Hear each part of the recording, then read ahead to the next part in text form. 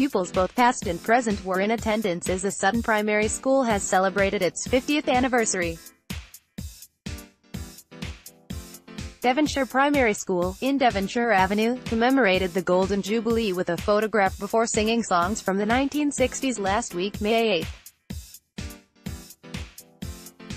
After initially beginning with 153 pupils, there are now more than 700 who go to the school as it is currently rated good by Ofsted.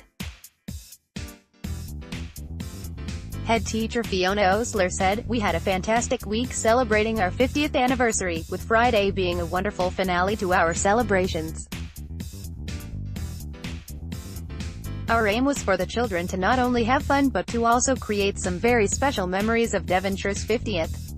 The school's field was decorated with banners, while games from the past half-century were played as well.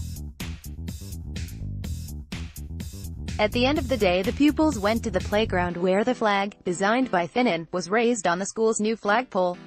Visitors not just former pupils, but staff, governors, and two previous head teachers, Roger de la Perelle and Martin Kiersey,